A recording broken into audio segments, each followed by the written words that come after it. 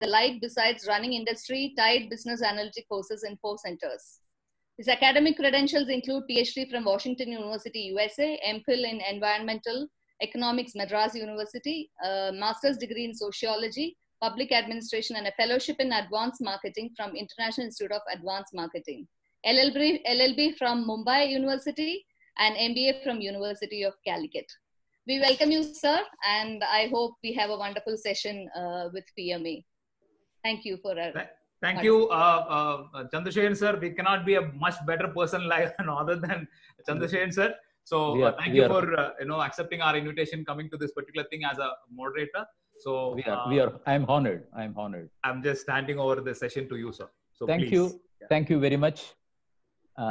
I profusely appreciate the management of this great institution, PMA, a part of IMA, to bestow the responsibility on me for anchoring this program, especially being a moderator. Thank you very much. I really appreciate. I was just going through the topic crossing the chasm in challenging times. I just want to take only two minutes before I step into the speaker. There was an article in 1991 uh, by Geoffrey Moore. Same word, crossing the chasm in difficult times. The only thing is the context is different. The context was how the marketing companies take a different approach towards marketing and get into what is called a big market, starting from a small market to a big market. After 40, 30 years, the same topic has come to the dais, and that is the meat of our discussion today. But the question is the situation has changed. The chasm created is something external, and the people affected are every one of you, like you and me. And this chasm has created a lot of challenges, and that is the topic. And we have, at the moment, a person, nobody other than having a condensed wisdom of 50 years as a bureaucrat, as a head of the financial institution, as a person to whom always challenging assignments are given. I understand he undertook UTI when UTI was in danger. He came to IDBI when IDBI was in danger. He came to SEBI when SEBI was in danger. There could not be a better person than Mr. Damodaran who can address this title. How do you handle things in a challenging time? Normal time, normal wisdom, normal people will do. But in a challenging time, when there is a, a chase, when there is a crossing the chasm, you need something extraordinary. And this is what, sir, we look forward from you. Sir, the dice is yours. And please try to address us. How do we understand the chasm? How do we understand the challenges?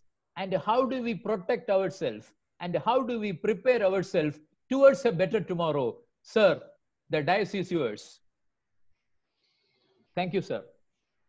Thank you, Dr. Menon, and let me thank the uh, PMA for giving me the privilege and the opportunity to share a few thoughts with you. As I mentioned in informal conversation before we got started, Palakkad is my home district, and there is no way that I would have said no. I didn't need any persuasion from Vinitha or anybody else. So, as soon as I got the first call, I said, okay, I will uh, move my engagements in the calendar around to keep a slot Thank here because in COVID times, as we recognize, all of us are busier than we were in the pre COVID times.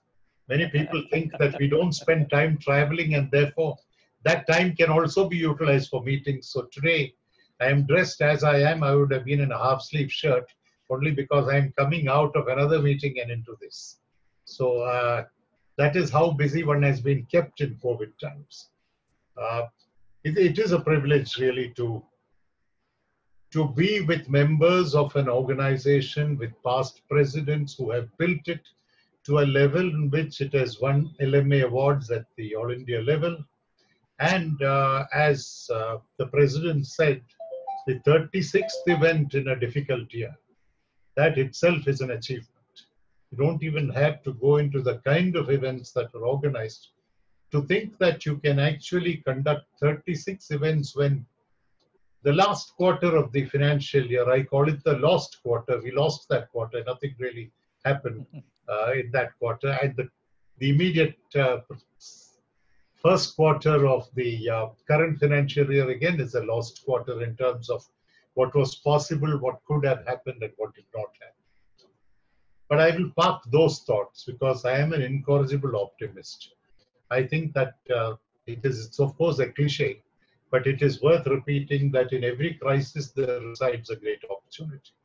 And if COVID has posed problems, if it is continuing to pose problems, uh, if it is making life seem more difficult, it's also leaving us with a lot of things that we can take advantage of.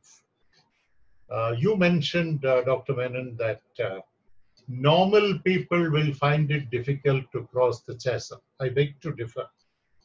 Normal people in normal times do not exhaust the reserves of their imagination, their energy, their enthusiasm, their excitement in order to cross the obstacles that lie ahead. But in difficult times, all of us challenge ourselves that much more. And I also looked at why the word chasm was used because literally chasm means a physical crack, a fissure on the surface of the earth. That somewhere there is a crack. Now, how does one cross that chasm? To cross that chasm, you must have, and now I'm moving away from the physical concept of the chasm, but still retaining its ingredients so that I can explain my thoughts.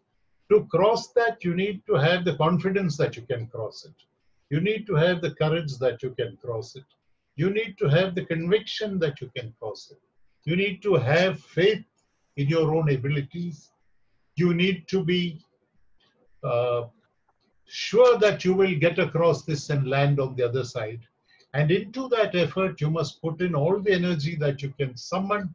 You must put in that uncompromising attitude that you need at this time to say that I have what it takes in me to get across that.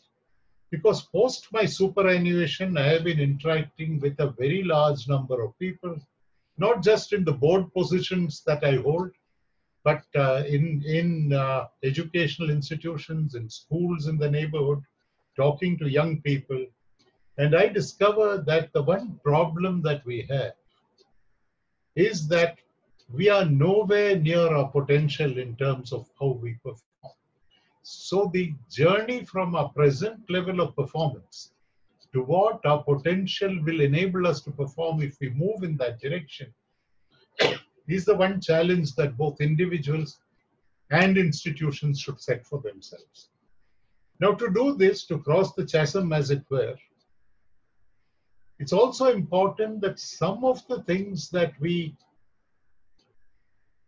uh, believe to be obstacles, hurdles, we look around, we find people that uh, are not in agreement with us. Uh, we spend a lot of time and bandwidth trying to persuade those that cannot be persuaded. So I think the difficult decisions of whom to carry with you on this journey and whom you will not invest time on because he or she is unwilling and unable to understand what you are embarked on. That difficult decision will have to be taken. When you look at organizations, for example, in COVID times, there are some organizations that are looking inwards, looking at the here and now, looking at what you need to fix now, looking at downsizing, at truncating operations, looking at shutting shop in some places. But they are taking their eye off the ball as far as identifying the opportunities that lie ahead of them. Because if we start with the assumption that there is a post COVID world, the world is not going to go away with COVID. I was reading somewhere that on the 21st of June, the world will come to an end. And I had some important commitments on 23rd. So in a lighter vein, I reached out to that person and I said, Is it okay if I confirm on 22nd morning, assuming you and I and the, and the earth are going to be around? We had a good laugh about that. So there are people, there are Cassandras, there are people who are waiting to write the obituary of the earth. It won't happen. The earth is a, a strong uh, uh, physical entity with all of us on it, and I don't think we will allow that to happen. So to look at what lies ahead when COVID finally decides either to go away or to remain one of the inconvenient permanent factors in our lives which won't bother us too much but will occasionally set us back, not take away our lives. Into that world, if an individual is to move, if a company is to move, this is the time really to build on your strengths, to reinforce your strengths, to look at what opportunities lie ahead, and to prepare yourself for the opportunities because I believe in the motto of the Boy Scouts that is the best motto there has ever been, the shortest and the best. It says, be prepared. So if you are not prepared, you will then be playing black pieces in the game of life. Somebody else will make the first move and you will be responding, you will be reacting to it. But if you are playing the white pieces, you need to anticipate, you need to be prepared, you need to summon both the internal resources as well as identifying the external resources. Those, I think, are some of the things that going forward we need to do to bridge the chasm. And what I would recommend to everybody, including and especially to young people, is this that some of us have made some mistakes. Our generation has made mistakes. We have perhaps left the earth a little worse than what we inherited. And therefore, we are not giving them the best inheritance in terms of uh, the climatic changes that our own actions have brought into effect, in terms of knocking off all the trees, in terms of polluting the water sources, and all of that. So they have a challenge because of the problems that we created, but they also have, and I believe the energy and the enthusiasm and the excitement of youth will conquer everything that there is, plus the impatience of youth. I think youth must be impatient. If youth is patient, it is not youth any longer. Impatience belongs, patience belongs to an older generation. You must be impatient. And, and sometimes when I say this, I do get criticized, but I will nevertheless say it. It must be irreverent. I don't think reverence is something that you need to inform the relationships between individuals. Respect certainly is important, but the minute you get reverential, you're suspending judgment and substituting somebody else's judgment for yours, which is not the best way to conduct your own affairs. So, those are some of the things that I thought uh, I will state up front in this conversation with you, Dr. Menon. Great, great. Interesting, very interesting. And you have made it in a very short and sweet way. And in, in nutshell, what as an audience, all of us, we understand from your last few minutes talk is that uh, now and hereafter, one has to be agile. Yes. One should not think about negativity. We should move forward. And uh, as you rightly said, whatever you want to hold, hold. Whatever you want to drop, drop, and move forward. There is no point in wasting time on something you hold uh, for a long time without any purpose and without any meaning. Excellent. And you should look for more opportunities than the threat. Excellent, sir. I cannot ask anything better. So, therefore, we are coming to a consensus at this level that agility is the first part of reaction, what we can do to cross the, uh, the, the link or the cross the crack. Uh, are we on the same page? If this is the case, uh, taking threat from your earlier discussion, faith, confidence, positive thinking, all that should help. So finally, along with these positive factors and your willingness to become agile, and if you are adaptable to the new opportunities, probably uh, our speaker says we are willing to cross the break and we can reach towards the shore in a safe way. So, being this as the architecture of, structure of our moving to the next level, crossing this break, crossing the crack, we in Palghat we have certain questions to place in front of you. And these questions are highly relevant to the Palghat Management Association, then it is universal. One of such question in our mind, lingering in our mind, is we have set a vision document called Vision 2025, sir. In that document, we have envisaged Palghat to be groomed as a center for startup and industries, or perhaps taking thread from the old knowledge about Palghat, a place for agriculture and tourism, or a place for infrastructure or education. Considering your past experience in dealing with various governments and various financial institutions, can you please guide us, sir, how to take this Vision 25 to the next level? Sir. That, that's a very good question, Dr. Menon. In fact, I was happy that you used the term agile. I think we should rewrite our dictionary to say A is for agile. Let the alphabet start with that, and then we will get started on our journey. Sure. I'm delighted that you uh, talked about Vision 2025. This is certainly something that uh, you should look at. The reason that I kept my opening remarks small was that I thought perhaps there would be more use in a conversation with somebody as enlightened and you trying to respond to your questions.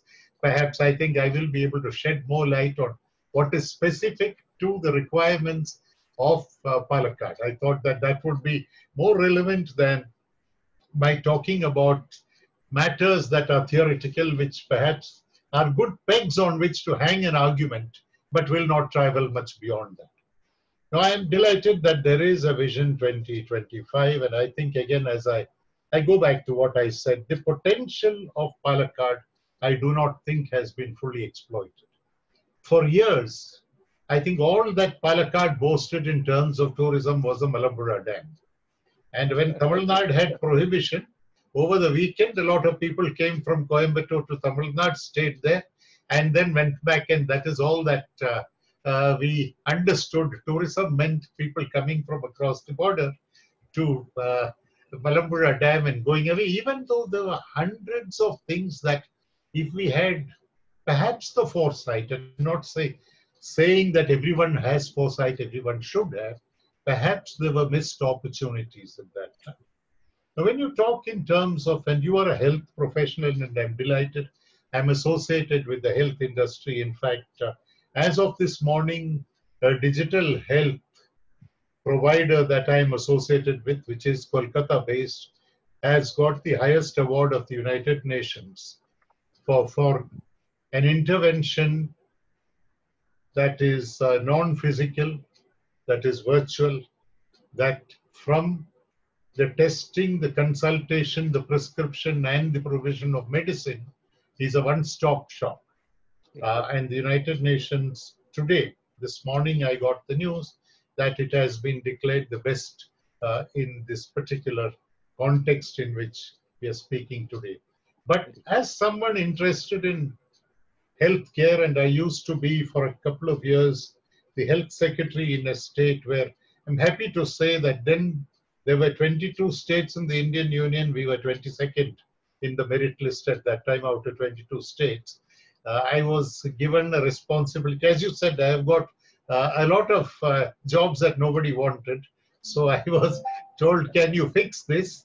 Uh, I'm happy to report that I think at the end of uh, 28 months or so, we were uh, one of the two states that got a special central assistance for improved performance in healthcare in terms of both communicable diseases as well as hospital services.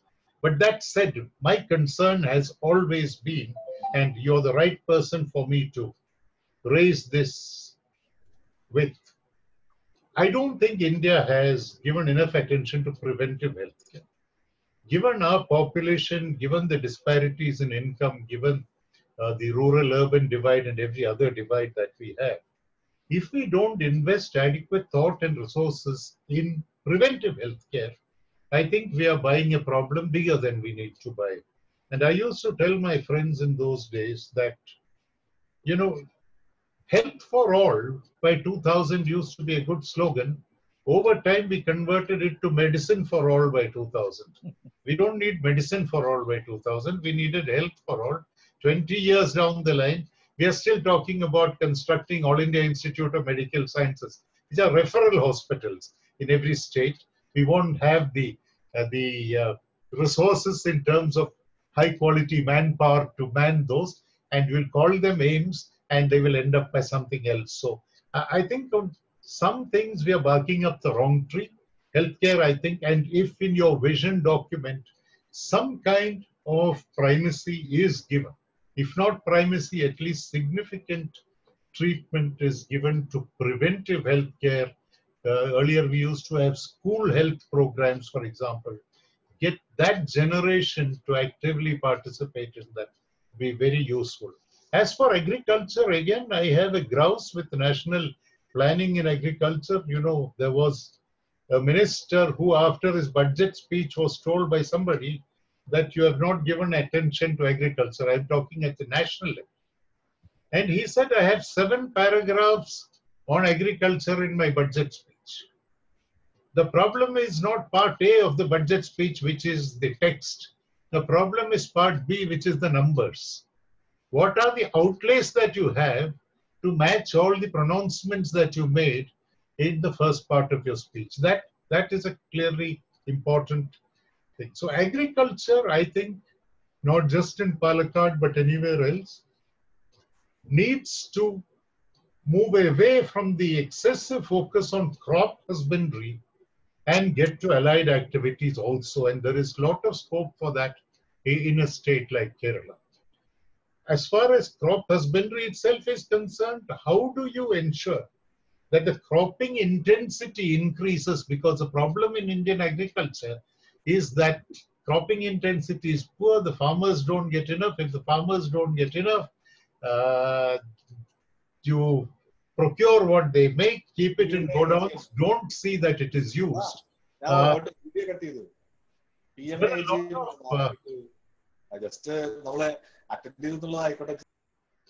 there is a lot of uh, grain lying with the various godowns of the food corporation. And there are people that they need these grain in several parts of the country. Uh, it again is a failure of planning. So on agriculture if the Vision 2025 document focuses on just two things, one is the allied activities, and the second is increasing the cropping intensity that you have, and therefore the productivity. I would personally be delighted to see that. I think this is an excellent effort. In 2020 is the time when we have the benefit of hindsight. Hindsight is always 2020. So look back, learn from our mistakes, and have a document that addresses what our potential is and, and build it from there. I think it's a great opportunity, and I must compliment the PMA for getting started on this. Yeah, thank you, sir. Uh, I need your input on the startup initiatives, especially how do you think it can fit into a place like Palghat? Startup activities are initiated all over India, whether it is uh, tier one, tier two, tier three cities. But uh, we want to have your impressions on the fate of such startups in a place like Palghat, or do you think anything special has to be done? Any special attention has to be given to a startup in Palghat? Because we have a lot of members in our club. They are all having a lot of initiatives. Their endeavors are on startup. So can you please advise on that, sir? I think for a startup, you need uh, to have an ecosystem that encourages startups. That is important. We as a country have been intolerant of failure.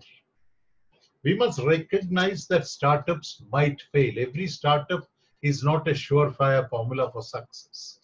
And recognizing that you need people to make investments who will not make money in every investment. Typically, a venture capitalist does not make money on every investment. But if two out or three out of 10 succeed, he would be uh, laughing all the way to the bank. He can live with the other failures because these would give him several multiples of what he brought. So they, they understand the startup philosophy. The, the person, the entrepreneur who is going in for a startup must have one major ingredient. I quote a former Sri Lankan cricketer, Arjuna Ranatunga. Of course, some of the other cricketers now are getting into the dock for match fixing. I'm not talking about them. But when Australia won the World Cup, when when uh, Sri Lanka won the World Cup, beating Australia, uh, and uh, Arjuna Ranatunga was built on fairly generous lines, uh, like I certainly was. I'm still there. And the Australians made fun of him. How can such a fat fellow be a good cricketer? He can't. Uh, he doesn't look like he can even move. Correct. Arjuna made a statement which I think is a very, very good learning for the starter. He said, It's not the size of your stomach that's important, it's the fire in your belly that's important. So a startup will succeed if there is fire in the belly. That fire in the belly, belly will extinguish all your initial doubts and difficulties. Is it worth for me? Because some people by nature cannot take those decisions. They look for the safety of jobs where there is a salary at the end of the month. Some people are risk takers. Now, the younger people are bigger risk takers. But you need to have belief in yourself. You certainly need to plan. Without planning, nothing ever happens. Simply having an idea will not automatically translate to a successful startup or venture. You need to see how do I actually roll out that in terms of what I need by way of different resources. How do I get expertise? How do I compensate that expertise? One of the mistakes that startups make, because I am a student of governance and I go around the country talking about governance, one of the mistakes startups make is they say we have no time for governance and good processes.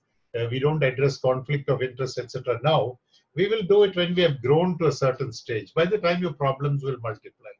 You don't allow governance to run, run ahead of business, but it must run alongside business. If it runs ahead of business, also you will fail. You will only be doing governance and not business. You need to do business also to succeed. So I think it is important to have an ecosystem. If you take Koramangala, for example, in Bangalore, every second house is somebody who's set up something. There are several people that fail there. Uh, typically, the environment is also useful. You need you need to have people that hold your hand. You need mentoring initially. Certainly, you need a good idea. If you don't have a good idea, because the marketplace is overcrowded. A Me Too product or a Me Too service will have limitations. It won't succeed. The other is government policy. Governments must consciously, uh, let us say, encourage this. And I will give you one example where governments get it wrong.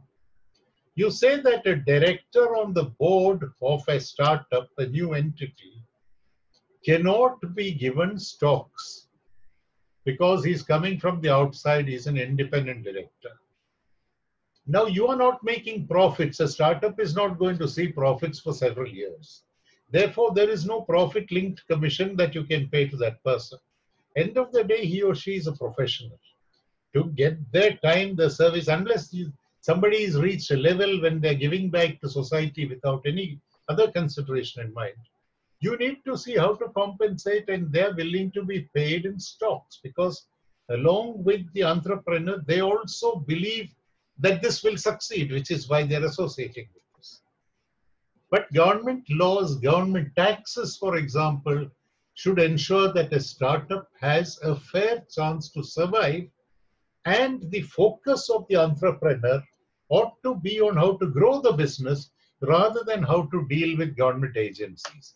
So I think you need a good ecosystem of which the government is a part, of which venture capitalists are part, of which successful people are part, of which mentors are part. Uh, all of that, I think, will go into it. And then there are good uh, institutions that are financing this. A conventional bank will not give you money because traditionally a bank will lend to people who don't need money. A bank will never lend to people who need money.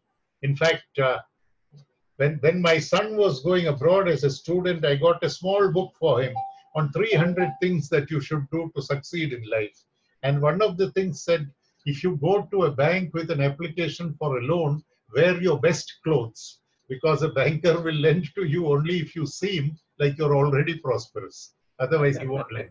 So your your startups will draw blank when it comes to banks, but there are any other number of institutions that are venture funds, for example.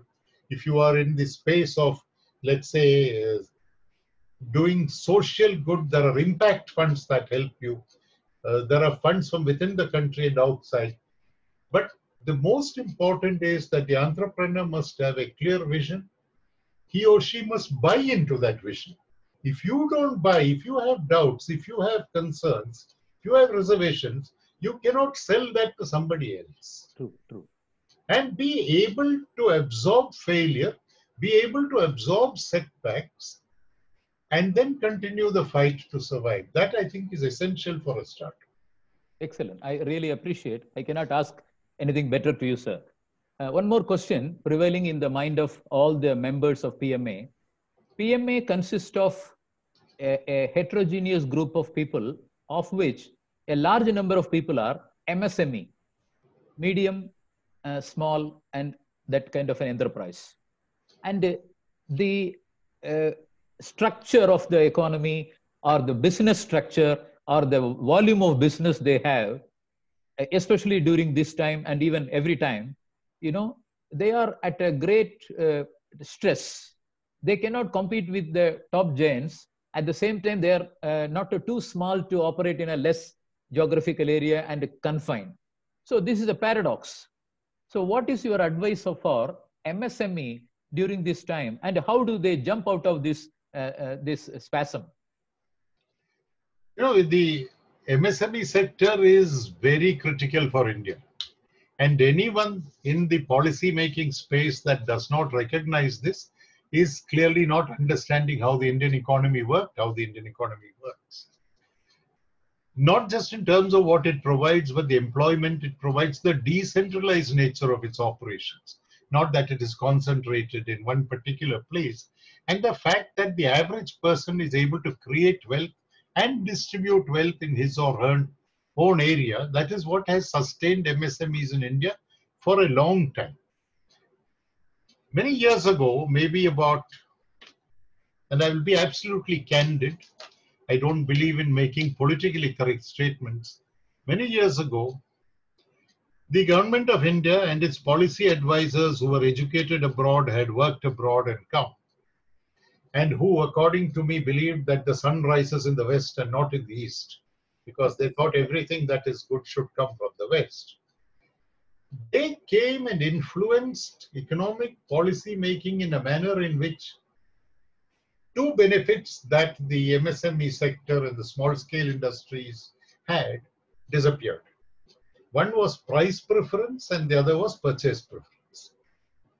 Both of these got knocked out because Western organizations, which had all manner of preferences in their own countries, prescribed something else for us and said, no, you shouldn't do this. That was a major setback for this entire sector. Then there were all other issues in terms of getting resources, in terms of the relevance of the products. If you're looking at an export market, anything that is low value, high volume was not an exportable product you had issues of quality control in domestic markets, some of the things that you produced. And yet, some of our best products came from these sectors. Then you had the problem of the big boys delaying payments to the vendors, the MSMEs, so that their cash flow got impacted. When the cash flow got impacted, it was easy to put pressure on them and do business with them. And while all of this was happening, the government turned a blind eye to this. They did pass some legislation which said that you should clear the dues of your vendors if they are small lenders, uh, so small vendors within a certain time. But all of that remained more on paper. And I think the last straw on the camel's back is what we believe is this great package that has been now given in the COVID situation, which has promised a lot for MSMEs. But in my conversations with some of them, as well as some of the apex organizations of MSMEs, I hear that nothing much has moved post those announcements because The banks are to finance. The banks will be guaranteed up to 20% by the government of India. The banks will finance only those that are surviving. Many MSMEs have issues not of solvency but of liquidity. If you address liquidity issues, solvency will take care of itself after a while. But if everybody is tarred with the same brush, oh, this account is getting irregular, got irregular, to distinguish between what is viable and what is profitable. My business may be viable today and yet not making profits for some reasons which are contextual. I can address those reasons and with help, it will move from being viable and non profitable to viable and profitable. But if that distinction is not made, if very quickly this sector does not see the benefit of those announcements, and even today there was an article in the newspaper saying, notwithstanding all those announcements, nothing much has moved. In fact, I wanted to ask this question that among your members, those from the MSME sector, have they actually seen anything out of these announcements that have been made by uh, the government in the post-COVID, in the COVID situation? Whether anything really has come to the MSMEs is something that I would like to be enlightened about because this is a continuing conversation that I also have with my banker friends. And one of the bankers put it very well. I said, if people are eligible, why don't you give them this? And he said, eligibility is not entitlement. If after I give this and it fails, and some investigative agency comes to me and says, Why did you lend? I am spending the rest of my life defending my decision. So I don't want to get into that situation. Safety lies in not lending. So you have a situation where bankers are risk averse. According to bankers, big corporates are risk averse. They don't want to make investments till they know, till they have clarity on what the economy holds in the future. If a big corporate does not want to make investments, its resources are used for its own businesses. You will not see much of it for settling the claims of the MSMEs. In a sense, the MSMEs are getting the worst end of the deal, and that will impact on not just MSMEs directly, but on the employment and on the morale of non metropolitan India. Let me put it that way. But, but essentially, they contribute to the wealth of the nation. They Yes. contribute to a heterogeneous product mix. Uh, in fact, they contribute even to, as you said, the big boys. The big boys depend upon these young boys. But it is, it's a paradox. It's Yes. a paradox. In spite of all that, and in spite of knowing uh, the, the truth that uh, something is not happening, it's a real paradox. Uh, are you with me, sir? I am completely with you, 200% with you. Everybody pays lip service to MSMEs. Everyone uh, echoes what you're saying now, which is they provide, they create wealth, they provide employment, and they do all of that. Uh, and without the MSMEs, the big boys cannot survive. They do need to realize that in the, their own self interest, they need to keep their ecosystem going, which is an ecosystem of those that supply parts to them, etc. Now, I'll give you a simple example. Take the problems with electricity boards and the number of people who have set up businesses only to cater to electricity boards.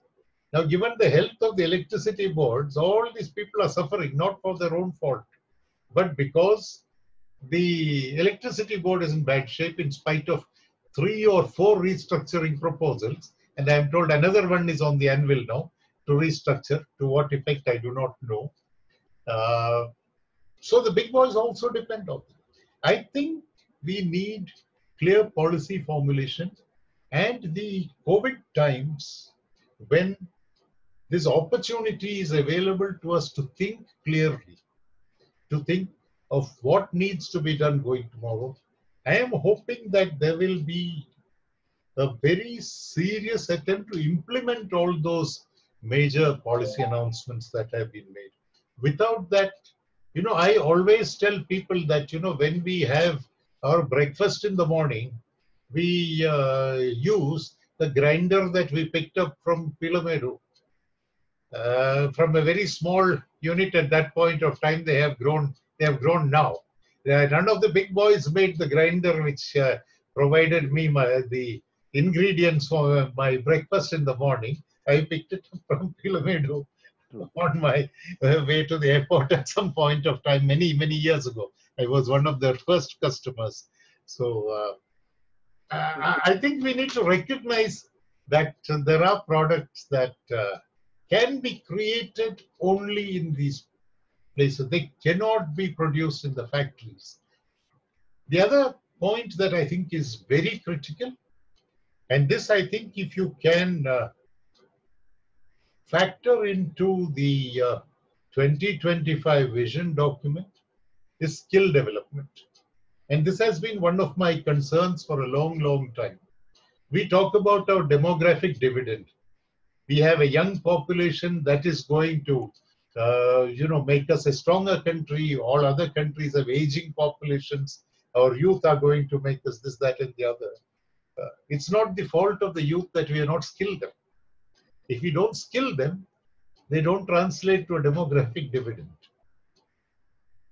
Uh, skill development, in my view, needs far, far more focus than it has ever been given. That that's another missing piece. I think. I appreciate, appreciate. We have one question, the tail piece, the last question.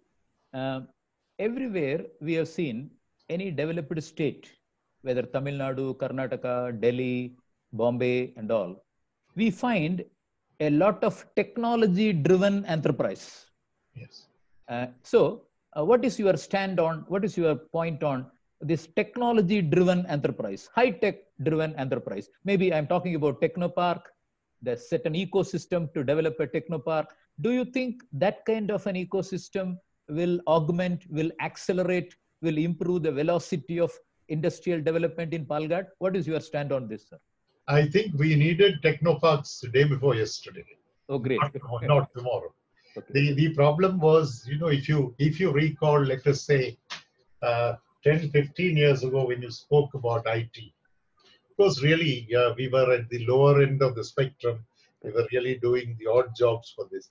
But the names that were mentioned were always Karnataka, Andhra Pradesh, and Tamil Nadu. Uh, south of the Vindhyas, the one piece that was missing was Kerala. It was much later that, you know, setting up technoparks, etc., got into the conversation. And I'm happy to see that uh, a lot of thought is being given to that now. Uh, because if you look at the Middle East or you look at the US, the number of people that have gone from Kerala and set up phenomenal ventures there. I see no reason why, given the opportunity, they cannot set up the ventures here. Problem also is that it's not easy to do business in India. At one time, somebody said that to set up a restaurant in Bombay, you needed 53 permissions. In the name of improving, in the name of uh, bettering the ease of doing business, they reduced it to 46. But you still need 46 46. permissions to set up a restaurant, and a restaurant is not rocket science. You make some food and give it to people who will come there and eat. 46 permissions for that. If you don't simplify that, I had recommended to the government that you must encourage technology applications, you must incentivize technology applications. Any new unit that uses applications of technology in order to deliver will be the ones that will succeed going forward because you are going to find it difficult. I know people talk about jobless growth, but you can create if you have skill sets. There are self employment opportunities. Everybody doesn't need a salaried job in the government or in a factory. And you need actually to have better technology for products that will sell tomorrow and the day after. Uh, there are only some things that will sell without technology. A Kanjivaram sari will still sell without technology. A, a carpet from Mirzapur or from Kashmir will sell because uh, I don't know how many of your people know it. That if you and I buy a carpet in Kashmir, uh, we will not be able to make out the mistake in that. And yet, there will be a mistake that is deliberately left in that. They say that that is our signature on that. That mistake is our signature because only God can make 100% perfect and we should not compete with God. So we make that. Uh, the same way, all handloom products, It is the unevenness of the product that is the thing. There are some things where power looms never could replace hand tools.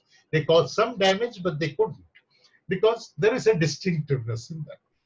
But if you keep those aside, I think the mass consumption items must come out of technology driven applications. In fact, one of the problems in the COVID times was the uh, you know continuous process factories which were shut down by some people. So uh, saying that no, you cannot uh, approach that uh, those factories. So I think uh, Kerala needs can do more, perhaps needs to do more uh, in this space to see that we put these to use. And young people are the best people to do it. Yes, fantastic. You know, I, I live in a neighboring state, Coimbatore, where there is a classical example of industries growing. Vis-a-vis the number of industries in Palghat, which is separated by 40, 45 kilometers. That's right. Yes. Uh, when I was when I was uh, just combing through your talk for the last few minutes, I understand the governance. I'm coming to your core area. yes. The governance of the given state, the kind of inputs that comes from top down, it is more important than bottom up. Uh, is that you are subscribing to that, sir? Uh, I think you need both. Okay. I, I think you need a combination of clear policy framework laid down at the top and persons who not just respect the policy framework and act on it, but who influence policy formulation. See, the problem again, at times, and I'm not blaming anybody, is that there is a disconnect between policy and ground realities. You make policy sitting in the office without ground realities. I'll share something with you. Sure. One of the former secretaries to the government of India once mentioned to me that he had been to 23 states in the course of six months. I asked him a pointed question. So you landed in the airport, went to the conference room, and came back to the airport and flew back to Delhi. What did you see of the state? Because conference rooms in most state capitals are nearly the same. Same, Some will be better, some will be worse, but they have nearly the same facilities. You cannot go to a conference room in a state capital and say, I've been to that state. The problem is how much of understanding of ground realities is there for persons who are in policy formulation. Interestingly, our ministers have an understanding of ground realities, but their policy advisors at the central level don't have a direct understanding. And if you take them past an agricultural field, they will not be able to tell you what crop is growing there. Now, and then if you sit in Krishi Bhavan and make policies based on what the FAO tells you or somebody else tells you, there's a complete disconnect with what is happening in the ground. So top down is important, but bottom up is hugely important because mapping of availability of resources, skill sets, all of those need to be factored into the policy formation. If someone asks a question as an individual, Yes. if I have to uh, cross the chasm, Yes. what what all the steps I should take as an individual, a layman, ordinary, simple layman? Put it in a simple language, sir. I would say work backwards. Imagine yourself across the chasm on the other side. Because one of the things that we don't utilize enough, and this I will say to the younger members of this meeting, is we do not utilize the power of visualization. I must visualize myself as having crossed the divide. Do I see myself standing on the other side? If that is a picture that I like to see, I have to work towards being the hero in that picture. That is a picture where it's not enough for me to write the script, but I have to act out that script. So I am both the script writer as well as the actor in my own movie, which is the movie of crossing that particular divide. And then I should not be caught by indecision. Much of the time, what happens, whether it's in our personal lives or at the central level policy formulation, should we open up the economy or should we have lockdown? So do you do a bit of this and a bit of this and you fall between two stools. The economy doesn't open up, but the, the uh, possibility of a community spread increases because you were undecided. One day you said this is it, one day you said that is it. Should workmen in Delhi who want to go back to their home states from the factories in Delhi or in Bombay be allowed to go? For two days you said no, you'll use force to push them back. On the third day you mobilize things to send them away. If, if there is no clarity and continuity and certainty in decision making, uh, that decision making will finish off the entire thing. So when you want to cross the chasm, you take the decision I want to cross the chasm, there's no halfway house. Okay, okay. Supposing I am coming running and I'm getting to the physical thing of that physical chasm which is there, and I have to jump across it, let's say it's not a huge chasm, it is something that let's say the average person can jump. If he or she comes running at high speed to the end and then has a doubt, am I likely to go across or fall in the middle? No, no, no. You will fall in the middle because you've generated enough momentum Right, that you right. can't stop and you have paused and you can't cross, you will fall in the middle. Sure, so- sure. Visualize where you are, where you want to be, then prepare what you need to do and give it your best shot. Sure, sure. Nine times out of ten, you will get there. Uh, the tenth person that is attributed to bad luck, maybe in the next life he will have True, a, a better deal. And talking about Coimbatore, the last 10 people that I spoke to who are shifting out of Delhi, and a lot of people are shifting out of here, eight of them are going to Coimbatore. So it's going to be a crowded town before you know it. Yes, yes, indeed, indeed. In fact, we are getting message. Even people from Chennai, they are moving to Coimbatore, That's right. Yes. and uh, there is a lobby working in Chennai to Oh. make people to move from Chennai to Coimbatore. Now it is because of COVID, Ah. and even otherwise there was a plan to move people from Chennai to Coimbatore. Sir, there is one question from the audience. Uh, Yes. Can I ask that question? Please, please go ahead. The question is Yes. uh, impatient Ah. and irreverence Yes. is considered to be not very well accepted by our society. Yes. Now, how do I take it and move forward? It's a very, very simple question. Excellent question. Excellent question. If any one person practices impatience and irreverence, the rest of society will frown upon him. Correct, correct. If more and more people do it, then people will see merit in it and go forward. It is like failure. You know, India is a country which does not recognize that people can fail. And failure attracts ridicule, failure attracts, at some stage, even ostracism. Let's take business. All businesses need not succeed. Some will become bankrupt for whatever reason. Good reasons. Maybe policy has changed may, maybe something external to the business. You're giving it your best shot and yet your business fails. Our society does not accept business failure. The guy who is bankrupt, we tend to, in some sense, look down on that person. Oh, this fellow set up a business, he failed. The President of the United States has survived, the present president.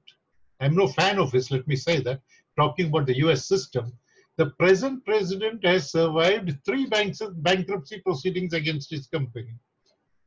And he's still running business not only in the US but elsewhere through his Benamis and is a president of the United States. That is because they recognize that there is no shame in failure. So, our society, when I say that you must, young people should practice, uh, let us take impatience. Why is impatience important? Time is running out to make this the great country it can be. You need people with an extraordinary amount of energy and enthusiasm. Now, if that is not coupled with impatience, and if they're very patient for governments to provide some inputs, for somebody else to give something, the energy and enthusiasm will get neutralized by the delay that is occasioned. Therefore, it is not an uncontrolled, unbridled impatience I'm talking about, but moving away from acceptability. I've always maintained don't focus on destiny, focus on the destination. you know, we all grew up thinking about destiny. What is written somewhere will happen. No, I think we need to be the co-authors of that script. God is co-author, but we should also be co-authors. Let us look at the destination, forget the destiny. If we want to get somewhere, we will get there.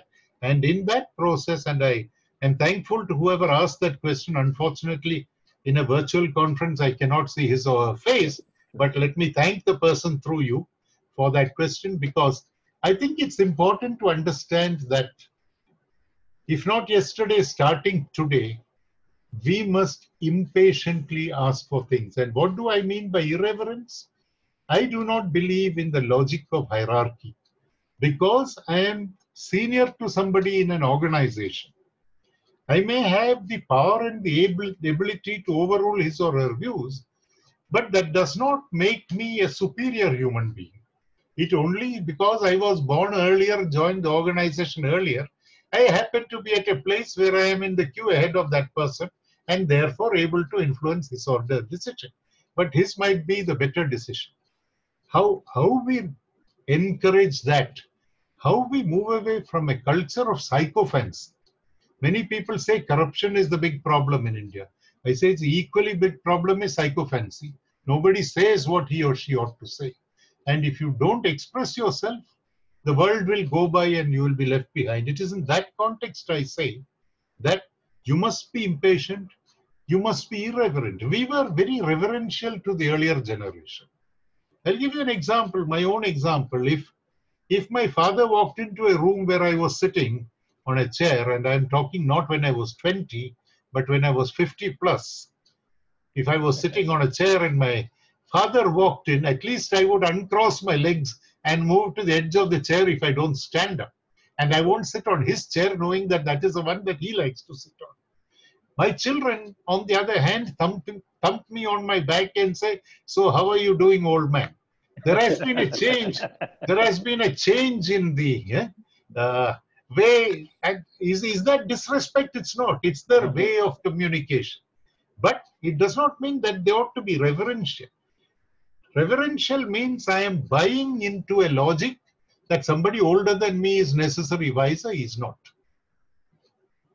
Sir, uh, last, uh, I think I'm waiting for some questions from the participants. I'm yes, just- uh, I, I have a question, sir. yeah, sir, please. Uh, now, yeah, sir, Sumesh Menon. Okay. So, so, uh, so uh, uh, probably due to the interest of time, probably we can take uh, one or this thing. So, one, my question is uh, this. So, uh, you know, as the situation demands, and everybody is in a complete uh, standstill mode, and uh, a lot of crisis is going on, especially on the company side. Um, but uh, uh, you know, uh, you know, the the the discussion around industry is next 15 years in India is going to be a complete game changer if we are going to take a right kind of decision because all the other external parameters seems to be in india's favor especially on the china stuff and all. So in that particular front how the smes or the msmes should equip ourselves on uh, making sure that we are not missing the bus or we are actually in that bus whether is it an attitude whether you know the kind of technology shift what you have to do or uh, uh, you know, something else uh, through, so that you know, we can we can be relevant in the industry and we are in that bus uh, in the next 15 year, uh, 15 years so So uh, let me tell you, I am not from the area of technology. I don't think any of you know this. I, I was a student of IIT Madras and uh, dropped out. I was one of the earliest dropouts because I recognized that technology was not what I wanted to do for the rest of my life. So, having stated that, let me say this 59 apps of Chinese origin have been banned. Is there an opportunity for young India? A lot of people were using those apps. I'm not getting into anything else. Just look at those, the space vacated by those 59 apps. Is there something that bright young people can do? And now creating good apps doesn't need a ton of money. It needs good marketing, it needs good support, but creating the app itself doesn't take a lot of money, right? I'm only giving you one example. You said rightly that India will be far more significant in the world economy than it is at this point of time. If you roll back the years, many years ago, we were far more significant. Somewhere we lost our way. Somewhere we lost our way for whatever reason. I think what we need to do is to look around us, see the way the other countries are battling, they're all in bad shape. They're all in bad shape. Now, if you look at Kerala, and I'm proud to say this, and I will say this here. Some of my friends in Delhi, in fact, compliment me, being of Kerala origin, for the manner in which Kerala has handled COVID and Delhi has not been able to handle and Bombay has not been able to handle. Of course, as I mentioned yesterday to some officers of the Kerala government on their behalf, uh, I happily accept all the compliments being from Kerala. I said I will pass on all of that. But, you know, I think we need to see that within this space, what are the opportunities that are there? Identify those opportunities. Everything will not fly. I mean, every opportunity will not translate to a multi million dollar rupee, whatever. But if you don't do it, if you say, I'll wait for COVID to go away and then start doing, sorry, you'll miss the bus. The bus would have moved on. This is the time to actually think on a, write on a clean slate. Okay, there is a world of opportunities, there is a world of problems that are staring us in the face here and now. In the midst of both these sets of factors, how do I chart my way to a better future for myself and devise better products and services. I believe that opportunity shouldn't be lost. We shouldn't lose hope. Uh, you know, many of us live in fear. There is an excellent line in English poetry if hopes were dupes, fears may be liars. if, you, uh, if, if you fear, what is it you fear the most? What you fear the most is fear itself if you live in fear, uh, there's no way you can get anywhere. But if you believe that that is an imposter that I will put behind me, I have what it takes. I will also explain to you, I'm not a deeply religious man, but let me give you, let me give you a, an example I am fond of. Uh, Dr. Menon, if I may take a minute. Sure, sure, sure. Okay. All yours, all yours. You see, God created several kinds of creatures. He created plants which have growth.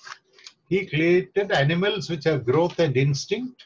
He created humankind which has growth, instinct, and reason. So we are his highest creation, God's highest creation. Now, how does God know that he has done a good job by creating us? He has to set us some challenges to see whether we are good enough to meet the challenges. Therefore, God is setting us some challenges. But God is not uh, an unkind person or entity. I always believe kindness when people say God is kind, I say it's part of his job description. He is expected to be kind. Uh, he, he should not expect to be unkind. So if God creates problems, God also leaves solutions around. Younger members in the audience will relate to this the game of treasure hunt. In a treasure hunt, you don't get to see the treasure immediately. You search for it, you get certain cues, but there is a treasure hidden somewhere. So every problem has a solution hidden somewhere. We must make the effort to find that solution. If we tell ourselves that, I say if you adopt the treasure hunt theory of life, that there is a solution for every problem and I'm going to find it, you will find more often than not, and sooner rather than later, you will land upon that treasure. So keep at it. Don't give up. Giving up is what sets the losers apart from the winners. Really, you said, Great. sir. You, you have proved yourself again. You are a, uh, what is that called? Encourageable optimist. This is the way you started your describing about yourself. And you have now proved at the end of the day you have proved yes. you, you, are an incorrigible, optimistic, right person. I really appreciate. Is there any other questions? I think uh, due to the interest of time, if there is any question, I, we can take one, uh, or else we can. Yes. Any questions? Please uh, unmute yeah. yourself and. Uh, yeah, no question is a wrong question. Answer can be wrong. Both long and wrong. yes. so you need not worry about asking any question. Hi, sir. Uh, my name is Nitin. I'm the Yes. Secretary of Palakkad Management Association. Great, great. Yeah, great to have you, sir. Uh, so one thing, uh, because you are in governance and uh, how uh, uh, a system should work. Not uh, hearing how you. much- Hello. One second, sir. കുറച്ച് Hello? അടുത്ത് വെച്ച് സംസാരിക്കൂ ആ right Hello. Ah, ആ കേൾക്കാം yeah. Uh, sir, so I just wanted to uh, just check with you how an entrepreneur's will, like uh, whatever he desires, will be in line with the political will. Without that, I, how- I didn't hear the, I didn't hear your question. It, it just Hello? came because I have some internet issues. Can you repeat? yeah, yeah, yeah, Yeah. yeah. So, uh, how much of an entrepreneur's will or desire uh, will go in line with a political will? Without that, how far can he go? With just his entrepreneur's will, how far can he go? Can he go without a proper political will? Can you can you put it in the chat box, uh, Mr. Nitin? Yeah. No, I heard you. I, I, I heard it. Oh, oh, right, right, right. How Done. to go ahead without the Yeah. political will. Yeah. I think we should not start with the assumption that there are a bunch of politicians who are uh, ganged up in order to prevent progress. Far from that. I would like to give them the benefit of the doubt and to believe that they too want progress. I mean, they gain nothing if there is no progress, right? Yeah. So the problem in life is that if you have an idea, you must find the champions who will take the ball and run. You must Yeah. find the people that will support you, encourage you, and do that. And I think every idea succeeds not because it's a great idea alone, but the fact that the greatness of the idea is adequately explained and communicated to people Mm. that understand less than you do. Sometimes what happens if I have an idea Mm. and I find it easy to understand because it is my idea, Mm. I find it, and I assume that everybody else finds it easy to understand, and then Mhm. I run into a problem. I need to convince somebody. I say in life, all of us are salespeople. Yeah. It is just like the guy who comes, rings your doorbell, and tries to sell you some consumer products. Yeah. If by looking at his or her face, Mm. you don't see that the person actually Mm is is believing in that product. Why would you buy? So you believe you communicate that belief to others and mm. then you will discover that uh, uh, you will have more supporters than detractors. Good. Thank you sir. One question you, you. before we close. Sorry uh, mr sumesh there is one question very interesting question. Please. What is the role of hr during this time? Sir how hr should behave? Because the the uh, everything is changing, right? The location is changing, working hours are changing, work from home. So the HR is really puzzled. How do I move forward in the ensuing days? What is my role now? Sir, your views on that. And with this, we will close. It is an extremely important question because on the boards of companies that I sit, this has been one major conversation. What do we do with people that work out of home? Because work out of home on the surface seems nice. You don't have to take transport to the office. It's easier to do flexi working hours, all of that. But there are huge setbacks. If you live in a, let's say, in a big city and live in a small room with your aged parents, and if you have uh, children who cannot be easily controlled in the house, who are making noise, and then you are at your laptop trying to communicate, there is a huge problem, and people are going through some of that. The second is mental health issues. You need to have, HR needs to ensure that people have access to counselors and mental health uh, practitioners because this is a new situation. Nobody has worked out of home for so long. People have been told that you can't go out. Think of the people who are in containment zones. They can't even step out of their house for a few hours, and yet they have to work. Then, because they're working out of home, some managers will say, You're working out of home anyway, why don't you work seven days a week? Luckily, there is no eighth day. You need to give that person the break that he or she would have got if they were working out of office. Yes, they will work late hours, leave it to them. You want output, you want deliverables, but don't bring the rigidity of an office workplace and ruin the flexibility of uh, uh, doing this. The uh, other issue that you need to look at is you are thinking of reinventing the organization. Now, there in good times, you did not address the flab in the organization. There were many people that were redundant, many roles that were redundant. Going forward, when you reinvent, when you shed some businesses, shrink some businesses, you will need less people. The process of identification can take place now, but don't give pink slips to people who are already hit by a crisis in the home situation. I know that people who have difficulties in the company, the cash situation is bad, there have been deferments, there have been some layoffs, there have been some uh, reductions in wage. Uh, all of that because ultimately the company needs to run. So there will be some tough decisions. But do that by communicating with people. I would think HR's role was always important. It is certainly more important now than it was before because these are tough times. And HR is an institutional handholder for the workforce. If it doesn't do that now and functions like a policeman, then I'm sorry, you are not going to get uh, anything out. Thank you. Thank you very much. So we really earnestly appreciate your gesture. Thank you. Each, each and each and every points that you have pondered over the last few minutes. Uh, it is something uh, even a hundred textbook cannot give in less than an hour's time. It's a condensed wisdom, a precipitated thought that has come from your journey of 50 plus years. Thank you very much, sir. We cannot ask anything better.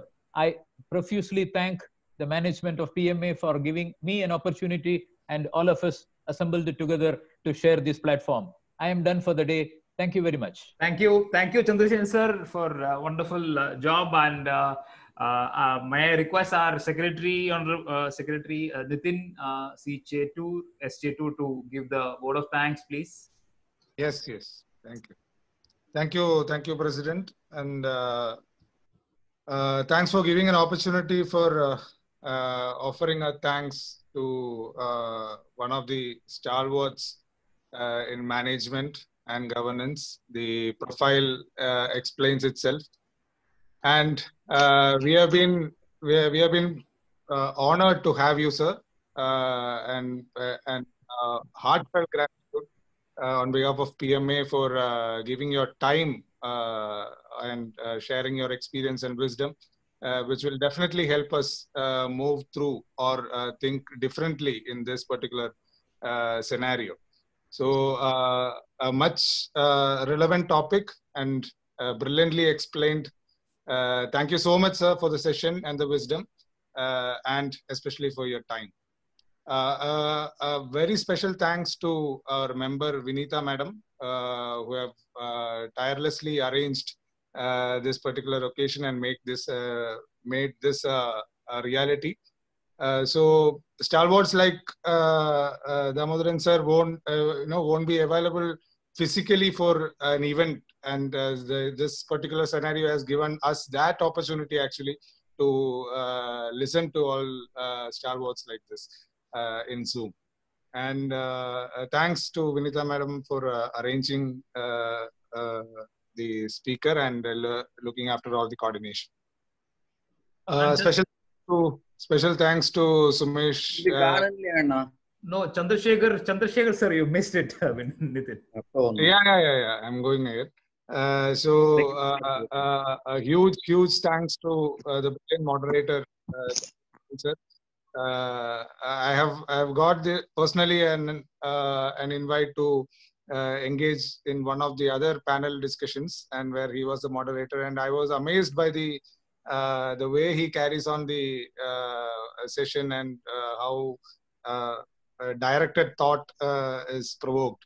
So a brilliant job, sir, on that end. We have so much to from you, being a moderator, and that, that which made this a very engaging discussion, which put out a lot of inputs. And uh, again, uh, thanks to uh, our president for choosing such a topic uh, we had a small discussion about this. the uh, the topic was chosen that way, so that was a very quick and what is it? A very prompt response. Uh, so thanks, a special thanks to uh, Somesh for that. Uh, and for all the arrangements uh, and for all the members who have uh, participated in this function, we have uh, it actually became a function. It was the I think 50 plus participants were there, which otherwise we couldn't. We we would find it difficult to pull in. So thanks to all members who have taken part and given your valuable time for participating in such an event. Uh, so let's look forward uh, for more associations, more uh, get-togethers, at least in Zoom, uh, and soon uh, in person. Thank you.